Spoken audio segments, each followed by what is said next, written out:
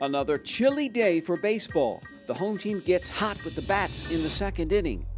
After Cole Evans doubles to score two, Tyler Reichenborn drops one in. Evans comes home, three to zip Big Blue. Now, Mason Spears three for three, including his base hit in the third. Iowa Western scores four times in the inning with some help from the visitors. Whoops. The Blue Knights, two errors, and it's 7 0 after three.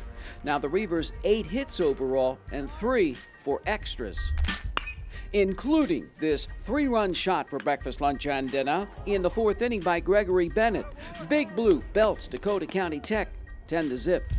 Midweek, trying to get some guys some ABs that needed some ABs. It didn't get them over the weekend. Um, I mean, not worrying about the scoreboard as much, but uh, some guys needing to have some better at bats. Um, really taking advantage of their opportunity when they're in the lineup.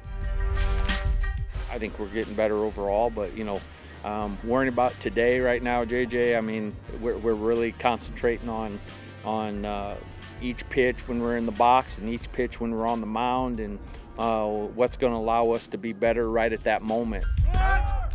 Iowa Western rips 11 hits in game two, and the Reivers outscore Tech again.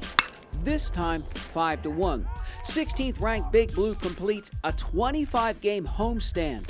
And during that span, Iowa Western goes 22 and 3.